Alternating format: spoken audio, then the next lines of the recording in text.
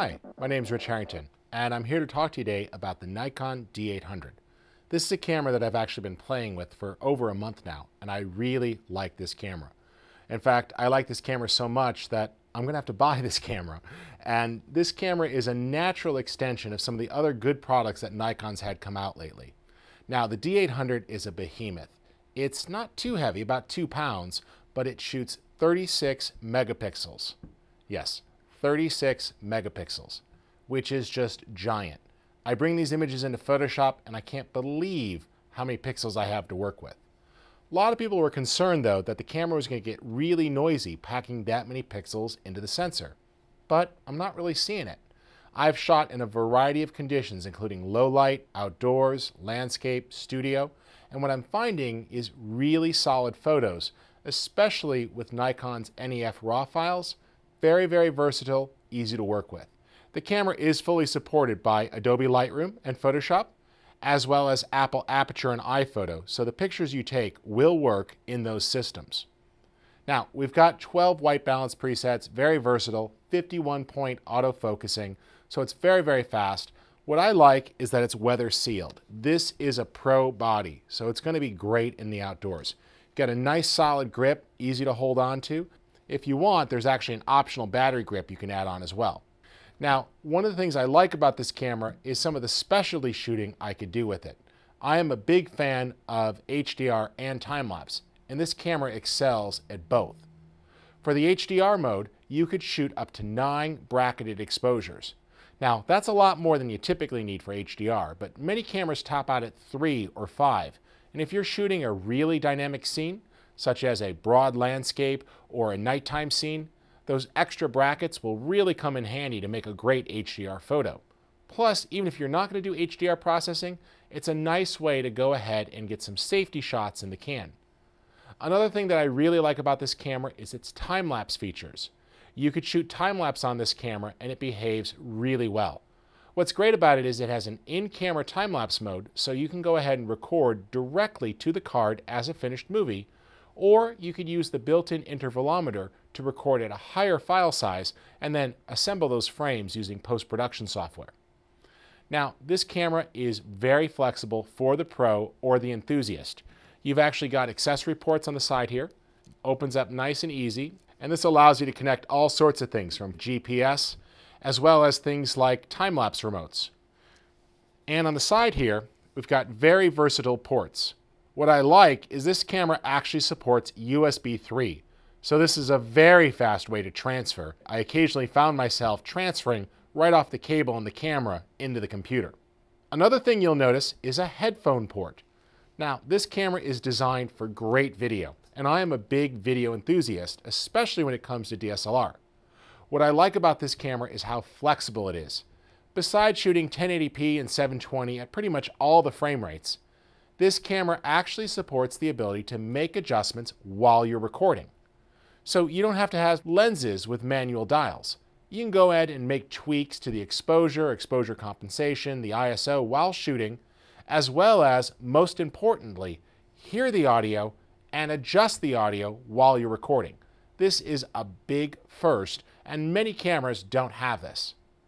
One of the things that's also unheard of, especially at this price point, is that the HDMI port puts out a clean, unwatermarked video signal.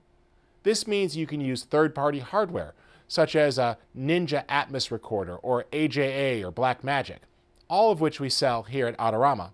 And you could use those to go ahead and record a clean, uncompressed video signal, meaning that you can use this in a professional video workflow if needed. Another thing I really like is the flexibility of recording. Now this camera records to both an SD card and a compact flash card, meaning that I've got flexibility. I tend to favor the compact flash card really high speed when shooting time-lapse or super fast burst mode. This camera can get up to 8 frames per second in burst mode, but I could take advantage of the more affordable SD card option as well, and that works really nice. Now, this camera is sort of the best of both worlds for a Nikon shooter. It works with both FX and DX lenses, meaning that you have a choice. You can go ahead and use the crop sensor type lenses on this camera and it will adjust to perform, or you can use the larger lenses and take advantage of the full sensor frame to capture those higher resolution images. Let's take a quick look at the menu system on this camera. So one of the things I like best about Nikon is the great interactive controls you see on the back of the camera when shooting. The heads-up display shows you a histogram, which I really like, as well as the ability to see things like the color space and the camera profile you're using. Pushing up or down will cycle through different types of views depending upon what you've been shooting with. Let's press the menu button here to take a look at the overall menu system. Nikons have a lot of power, so you're going to see a bunch of choices here depending upon what you're doing. Of course, the playback menu allows you to set things like how long the image will be reviewed. I tend to leave this off to save on battery life. Another nice thing is the shooting menu, and you'll find total control, including how you name things, which of the two slots it goes to, one of my favorite features is the ability to say how the card slots behave. In fact, you can go ahead and have the images automatically back up to two cards while shooting, which is really nice to know that you've got that extra safety net. Of course, we have the ability to change all sorts of options about how we record our RAW files, including really high bit depth. The fact that we can go 14-bit is a real standout feature here, giving us much greater color fidelity. You'll also find versatile support for the Adobe RGB or sRGB color space. Within the custom shooting menu, you have things organized by easy to find categories. A very robust autofocus system, including 51 points of autofocus, the ability to work through different ISOs, all the way up to 6400 natively, but with the ability to range from 50 to 25,000 using some of the different exposure compensation and ISO adjustment methods. And great controls here. Now, I find that I'll often turn off things like the beep so that I don't hear any sort of noise as I'm going through the menus, and I like to minimize sort of my footprint. Another thing that I like are the command dials, as you're seeing here in some of these photos. The fact that we have a quiet mode that makes it very easy to shoot without making as much sound you hear the nice soft click. Depending upon the speed of your card, it's going to go faster or slower, but this really opens up some options. Now, you can go ahead and store that to the internal buffer, or they will write to the card.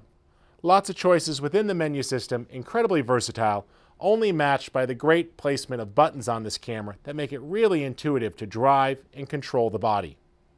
The Nikon D800 is a very versatile camera, and if you're a Nikon shooter, there's a lot to love about this camera. Great body, great resolution, lots of control. Now, if you're into video, I highly recommend you check this out for some of the unique features it has. But time-lapse shooters, HDR photogs, or just people looking for that power to capture great landscapes are really going to like this camera. Be sure to check it out. There's some great kits over at Adorama.com. Tons of stuff there for different price packages so you can configure this camera how you want. My name's Rich Harrington.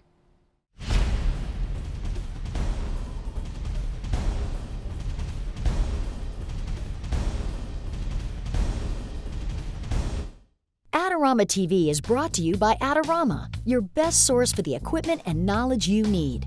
For all the latest photography, video, and computer gear, visit Adorama.com. Place your order by 7 p.m. and it ships the same day.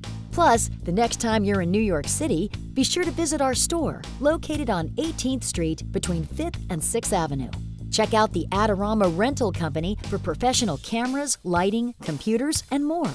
We'll help you make the best selection to match your needs while giving you the knowledge to achieve the best outcome from your rental. Adorama is your complete solution for equipment, printing, training, and more. Adorama, more than a camera store.